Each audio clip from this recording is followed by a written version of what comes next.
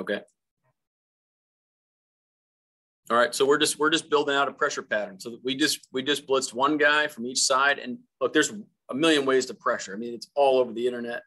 How who who you want to blitz and all that. So now you can blitz one guy and bring five. Now you now we want to bring we want to bring two guys, okay, and we want to bring double edge pressure.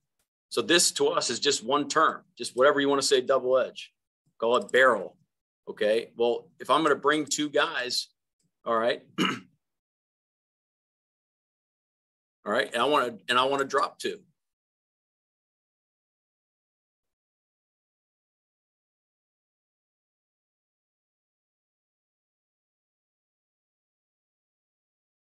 So this is a separate, this is a separate pressure pattern for us that we call. And now you can start to layer the fronts and it's still the same techniques, all right, for everybody on the field, but you're just changing it from play to play. So here's your double edge. You're dropping two interior guys, okay? But you can see the quarterback, as we're playing 400 too deep right here. Here's your 200, 400 guys, but um, we're just changing it up on the quarterback.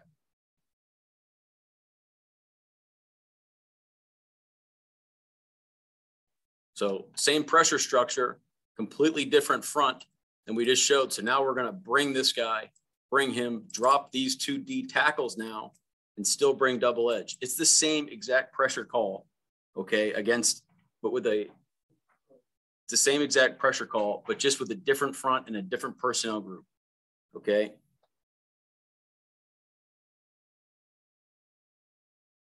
So now these are the two guys popping out. We have double edge, all right, where we can eat up the back on one side.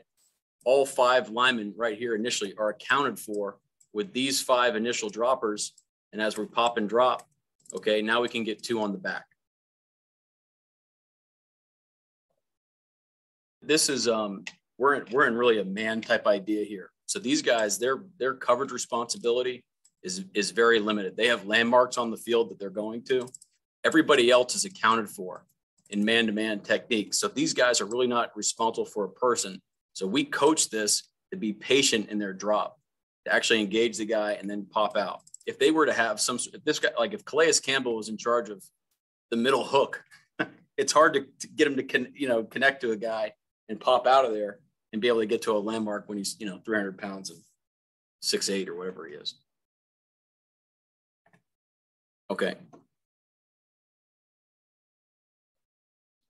I thought this one was interesting here because again, you're still building like you're still building out your pressure system. So now we're saying, okay, I'm still just guys, we're just blitzing one person here off the ball.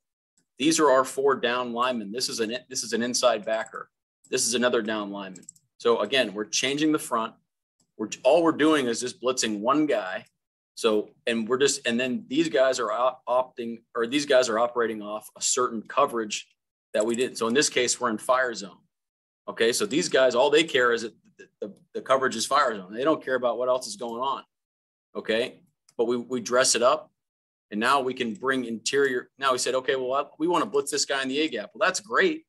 Okay, but you know, also is great is getting all these linemen accounted for. Okay, and then creating a twist inside.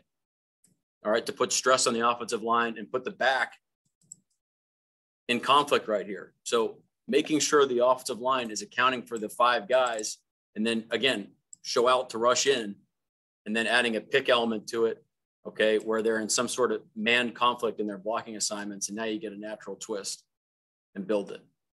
Okay. But if you were to go back to that initial slide that I showed you earlier,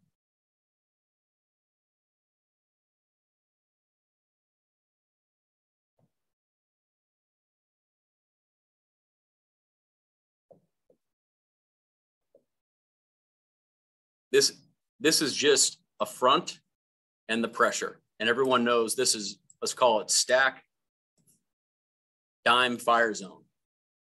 And that's it. And that's how we ran it that week. So to answer the person's question of how you build certain things each week, okay, well, this is just dime fire zone, but this week we're riding a pick and we're playing fire zone out of it. Same learning for nine, nine of the guys on the field. Two of them now they're just changing up their pattern.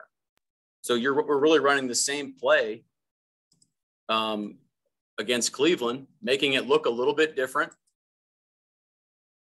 Changing the personnels. This was Justin Houston. Now this is Odafe Oweh. Okay. People are in different spots, but everyone else is running the exact same fire zone technique. Okay. But changing it up and and now you start to bank reps over the course of a season. So you're not just re- rerunning pressures every week and you're, you know, reinventing the wheel.